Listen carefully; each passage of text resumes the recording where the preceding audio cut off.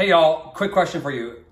The breakfast myth. What is it? Are you aware of the breakfast myth? How many people have been told right now that eat breakfast is the most important meal of your day? Well, I believe that too for a long, long time. And I think in certain situations, that's actually really important.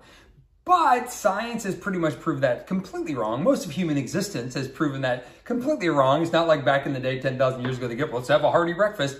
No, they basically ate when they're hungry, um, is which what we should do also. So here's the reality. I love I'll make me some bacon up. I love eggs. We actually just ran out. Um, I for years I would do like burgers, bison burgers for breakfast every single day. Now, if you're training a high level athlete, or maybe you're even like a teenager and you, your metabolism is going crazy and you're working out a lot and pushing your body, breakfast can be an unbelievable tool for you. Um, we utilize it. I'm a huge fan of low carb breakfast, uh, animal protein primarily, nuts. Um, are great in the morning for breakfast if you're really pushing your body. But here is the real the real key. I love breakfast food. Doesn't have you don't have to eat it at breakfast time. You can eat it at lunch or even dinner.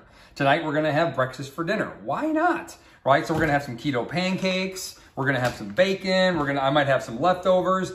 And so we're gonna have breakfast in the morning for, or for dinner. So you can eat your breakfast food whenever you want. You don't have to eat it for breakfast. So here's a simple tip. Simple tip is when you wake up, if you're not hungry, don't eat. Drink a big glass of water. If you drink your ketones, you gotta have ketones. Have those in the morning. Then wait till you're hungry to eat. Have your breakfast for lunch. Have your breakfast for dinner. And so you don't have to eat breakfast early in the morning. That's a big, big, big myth and actually a huge mistake to people's long-term health and long-term metabolic shifts. And science has now proven this over and over again. Now, I do encourage you, if you do skip a lot of meals, it's more important to stay lower carb if you're gonna skip a lot of meals, because you'll have way more sustainable energy if you do so. Um, of course, using Keto Nat makes the whole process easier and almost mindless and very fun. But um, Breakfast is a myth. Eating first thing in the morning is a complete myth. You do not need to do it. There is situations where you might want to, but for most of you out there, cut it out, knock it off. Eat when you're hungry. You can eat your breakfast for lunch or dinner. Bye, y'all.